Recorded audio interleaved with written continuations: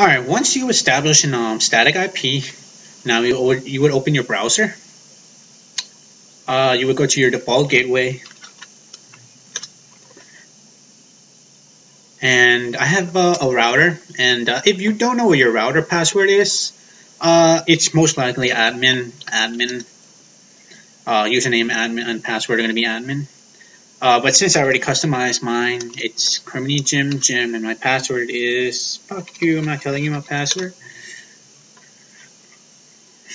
Now, you should see something like this. If you have a different router, like let's say you have Netgear, whatever, you will look for WAN, wide, uh, wide area network. Go to port forwarding. Now here, service name. You can just put whatever name. So let's say you want to do Minecraft. You want to Minecraft. YOLO swag sauce. Alright. And port forward range. So what is what is Minecraft port forward the range? 25565. Okay. So that would be this. Local IP, which is your static IP, which is you establish. And 25565. Both. Now Adam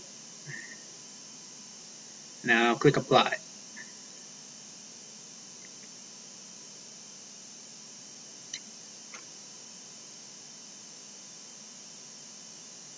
And that's it.